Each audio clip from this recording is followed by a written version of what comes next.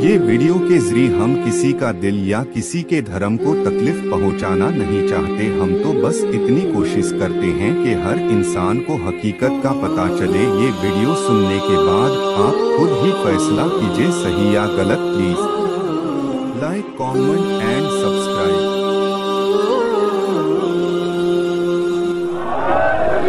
पता चला कि नबी को ये भी अख्तियार नहीं कि सिपा सालार खुद बनाए। लश्कर का सिपा सालार भी अल्लाह बनाता है।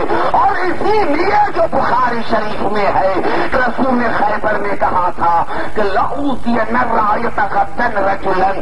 कल मैं ज़रूर ज़रूर अलम दूँगा। उसको जो मर्द होगा, कल दूँगा। कल दूँगा ज़रूर ज़रूर दूँगा ज़रूर ज़रूर दूँगा तो साहब कराम ने कहा, या रसूल अल्लाह आपने क्या फरमा दिया कि कल मैं ज़रूर ज़रूर अलम दूँगा?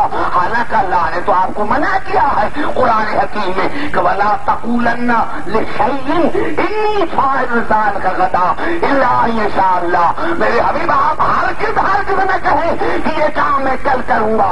जब तक आप इंशाअल्लाह न कहे पहले इंशाअल्लाह का फिर कहा कि ये मैं काम कल करूँगा। तो आपने इंशाअल्लाह तो कहा ही नहीं और कि मैं ज़रूर ज़रूर दूँगा। तो आपने इंशाअल्लाह क्यों नहीं कहा? तो रसूल ने हंसकर फरमाया, बेवकूफ़ हो, अगर मैं अली को अलम देता तो मैं इंशाला अगर अली को मैं अलम देता तो इंशाअल्लाह कहता। अली को मैं सिपा सालार बनाता तो मैं इंशाला कहता। अली को तो अल्लाह ने अलम दिया है। अली को तो अल्लाह ने सिपा सालार अता किया है।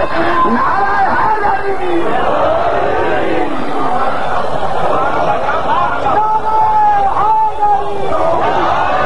अली को तो अल्लाह ने सिपा सालार बनाया है अरे अफसोस की बात है, ये आयतें तुम्हें कुरान में नज़र नहीं आती? जब रसूल को हक नहीं कि लश्कर का सिपा सालार हमारा रसूल बनाए तो तुम्हें किसने हक दिया है कि रसूल के बाद तुम खुद बनाओ? पूरी तवज्जा चाहूँगा। आज आपको एक ऐसा नतीजा देकर जाता हूँ। मुल्तान में जो ज़िंदगी भर याद रहेगा मेरे दोस्तों, मेरे बुज़ुर्गों, मैंने क्या किया? कि अल्लाह ने फरमाया, फलम्मा कुतब अलैहिम किताब तबल्लौ इल्ला कलीलम मिनहुम। वल्लाहु अलीमुम बिजालिमीन। जब उन पर जिहाद वाजिब किया गया तो सारे के सारे भाग गए। सवाल थोड़ी और कलील के अल्लाह ने फरमाया ऐसे जालिमों को मैं जानता हूँ किसको छोड़कर भागे थे। नबी को नहीं। नबी को छोड़कर नहीं भागे थे। अल्लाह के बनाए हुए सिपा सादार को। अल्लाह के बनाए हुए सिपा सादार को। और करना चाहता हूँ। मेरे दोस्तों, मेरे बुज़ुर्गों का अल्लाह ने पहले फैसला कर दिया। कुरान वैसे इब्राहिम रबू बिकलमातिन फातम्महुन कालनी जाहिल कलना से मामा जब अल्लाह ने जनाब इब्राहिम को कलमात में आजमाया और उसने पूरे करके दिखाए तो अल्लाह ने फरमाया, मैंने तुम्हें इंसानियत का इमाम बनाया, तमाम इंसानों का इमाम बनाया।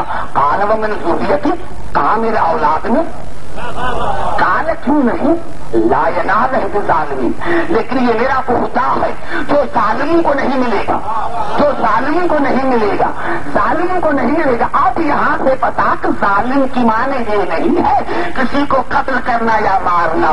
लेकिन वहाँ से पता चला कि जो अल्लाह के बनाए हुए सालार को छोड़ कर जाए, वो भी जालिम है।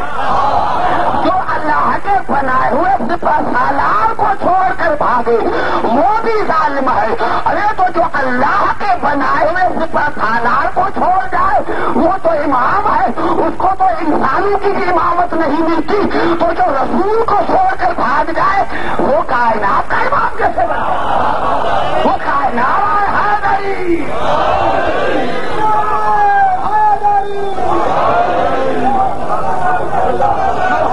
नारायण हैदरी घबराए नहीं अभी मुझे यहाँ दो मिसाल याद आ गए अगर घबराए नहीं तो मैं मिसालें पेश करूँ और कबला मैंने किया था तो मैं नतीजा देना चाहता हूँ आपको अब मैंने यही अर्ज़ किया कि कुरान हकीम में नफ की चार किस्में अल्लाह ने बताई है। नफ से अमारा नफ से लबामा, नफ से मुलहिमा और आखिरी जो मंजिल है, वो है नफ्स मुतमइन्ना की और अल्लाह ने उसी नफ्स को सच कहा है, या अयत हन नफ्सुल मुतमइन्ना तुरजी इला रब्बिक राजियतो मर्जिया। फदखुली फ़ी बादी फदखुली जन्नती। ए नफ्स मुतमइन्ना नफ्स इरजी इला रब्बिक। वापस लौटा अपने रब की तरफ़। ए नफ्स मुतमइन्ना कि कौन या कह रहा है? अल्लाह। आज भी अल्लाह की आवाज़ है। ए नफ्स मुतमैना, या! मुतमइना तुरजी इला रब्बिक रादियतुन मर्जिया, फदखुली फ़ी बादी वदखुली जन्नती। ए नफ्स मुतमइना वापस लौट करा अपनी रब की तरफ़। पता चला ये नफ्स मुतमइना जो है, इसका माफियत से कोई ताल्लुक नहीं। मैं नहीं समझा सका। जब मैं नहीं समझा सका तो फिर मैं फिर कुरान की तरफ़ आता हूँ। ज़रूर पढ़े मोहम्मद राज मोहम्मद क्यों ना देखना? अभी मैं ऐसा जवाब देना चाहता हूँ आपको। ये अल्फाज है, फिर सूरत बकर के। वह काल इब्राहिम और रब अरनी, कैफतुल मौता। जनाब इब्राहिम ने कहा, अपने रब को कि अल्लाह बता मुझे काम मुर्दों को ज़िंदा किस तरह करते हैं? काला वलम तो में आवाज़ें क्या तुम्हें ईमान नहीं? काला बना क्यों नहीं? क्यों नहीं? वलाकिन लियतमइन नकल भी लेकिन मेरे कल्ब को इतमान नहीं। मेरे कल्ब को इतमान नहीं। पता चला नफ्से मुतमइना इब्राहिम नहीं बन सकता। अब अब जो मुल्तान में बात करना चाहता हूँ, वो ये कि किबला पूरे कुरान में दो अंबिया ऐसे हैं, जिनका अल्लाह ने पूरे कुरान में ज़्यादा ज़िक्र किया है? एक जनाब मूसा और एक जनाब इब्राहिम। खत्मी मर्तबत के बाद अगर किसी नबी का दर्जा है तो वो जनाब इब्राहिम का। वो ये करे जनाब इब्राहिम करे या अल्लाह या अल्लाह, ईमान है, मोमिन हो इतमान नहीं। इतमान नहीं काल फुस अरबातम मिनत वसुरहुन इलेक। कहा, देखो, चार पर्दे पकड़ो। चार पर्दे पकड़ो। चार पर्दे पकड़ो। सुम मचल अला कुल जबल मिन हुन्न जुजअन। चार पर्दों को पकड़। कौन पकड़े? इब्राहिम। तू पकड़ चार पर्दों को। सुबह भी तू कर। इनको काट भी तू। धीमा भी तू बना हर जुमले में अम्र है, अमरी जुमला है, अमरी। इब्राहिम, चार परंदे पकड़। चार चार। फुज अरबातम मिनत। परदू में से। ये मज़े वाला जुमला था। हालाँकि मेरा खाते जुमला परंतु में से। चार परंदे नहीं, परंतु में से। यही होते हैं जुमले जिसमें बड़ा बड़े राज और नाथ की बातें होती है। परदूम परदूम में से परदूम में से। यानी ये मिल ने बताया कि चारों पर्दे एक जिन्स के नहीं थे, दो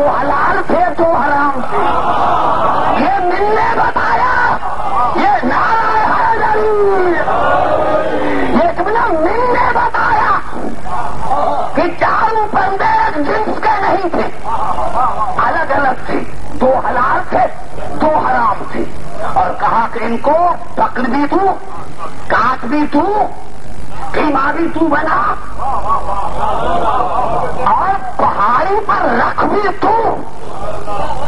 तुम मत हुन्न फिर इनको बुला भी तू, आवाज़ भी तू दी।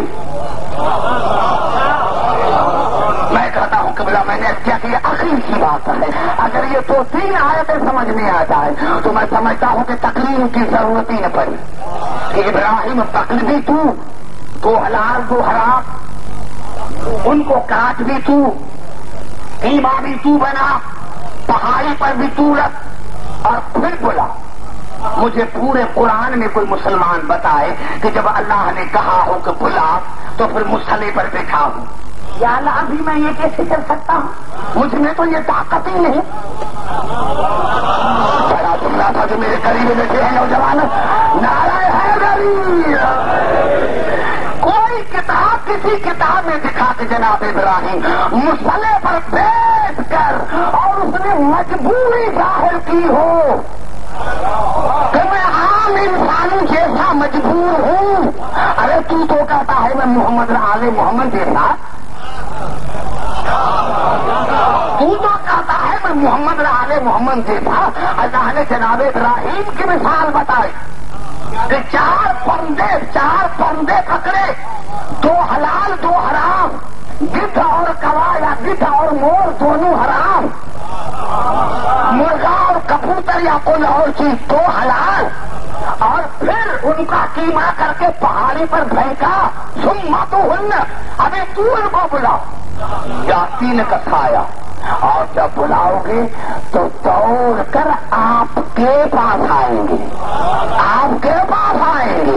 जनाब इब्राहिम ने बुलाया, कुर्सी किताब में नहीं है कि मुसले पर दुआ मांगी हो कि मेरी इज़्ज़त रखना।